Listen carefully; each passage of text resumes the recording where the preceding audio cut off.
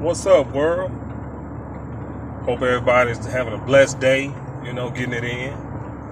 Making your skrilla, your guac, your cabbage, your cheddar, your moolah, them ducats. And for those who ain't, get up off your ass. You need to make a living. Anyway, I, um, I want to comment on Ayesha Curry's comments about her desired attention from men other than her husband. I really think everybody's blowing it out of proportion, if you ask me. Um, and if everybody is real with themselves, you can't act like that this isn't a thought that goes through anybody's mind, male, female, pu- pubescent, adolescent. I mean, she said it out loud, and with the advent of social media, everybody gets to drag and ridicule somebody, you know, over a comment that they've thought before, but didn't have the balls to say it out loud. You know, I don't think that Ayesha Curry meant she wants a relationship with another man. She's basically said that, in a nutshell, she's been with her man for so long uh, that, you know, she doesn't receive attention or compliments from other guys. And what woman doesn't desire that? Every freaking woman on this earth. When a girl gets dressed to go to the club, she seeks the attention of another man, whether she got a husband or a boyfriend. She's seeking the, now. Now, if she is bisexual or gay, maybe she's seeking the attention of another woman. But you can't tell me when women buy these beautiful outfits, you know, go to these places, and hell, it could just be a damn bar. They are seeking the attention of men. And if anybody said that they aren't, that's just a damn lie. They don't do it for themselves. Women don't do it for themselves. When you go to the gym and watch a woman work out harder than any man you ever saw, they know that that right there is going to make them stand out over the average woman when they get dressed. All the guys are going to gawk at her. So for people to really just, I read some very harsh comments about uh, Ayesha Curry, and I really feel like they're over the top. Do you think this woman wants to be with another man? No. She loves her husband. She has no reason not to. He's a good guy. She loves her husband. She's not saying she want to be with another man.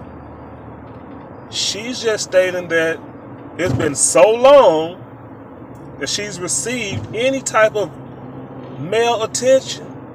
Now, some of that could be because she's conservative and a lot of guys don't like to approach a conservative woman, especially somebody like her in the limelight that's uh, quote unquote a goody two shoe type of woman. You know, they're not going to approach her because she has so much respect for herself and the way she carries herself.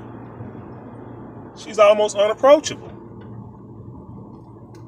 But I really think these comments are unfair and very hypocritical. Because, fellas, if you got a woman who can't even go to the damn grocery store without putting on makeup, more than likely, she seeks the approval of knowing that the opposite sex thinks she look good.